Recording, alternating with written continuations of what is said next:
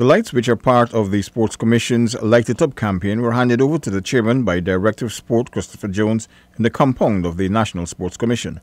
The campaign seeks to ensure that all sports grounds countrywide are equipped with adequate lighting. Within Region 9, we have talented players, we have, we have persons who can do well in the line of athletics, sports in general.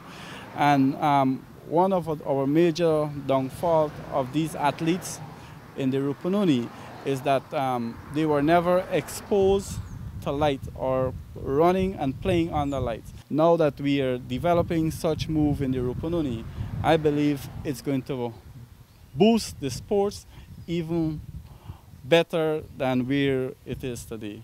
Sport Director Jones described the donation of the lights and other sports gear as part of the Commission's mandate to decentralize sports. He added that even though the hinterland possesses a lot of raw talent in the past, a lot of the equipment has been donated to coastlanders. Aranaputa Valley is at the North Rupununi, which is a distance away from um, Lethem. We wanted to ensure that the young people um, in that um, part of the region have the opportunity as those in the Lethem region.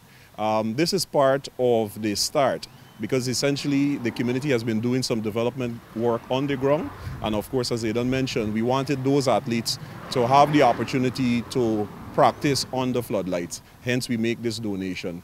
Over the past two years, the government has been heavily investing in sporting activities in the hinterland regions countrywide in an effort to uncover and nurture the hidden talents that lie in those far-flung areas.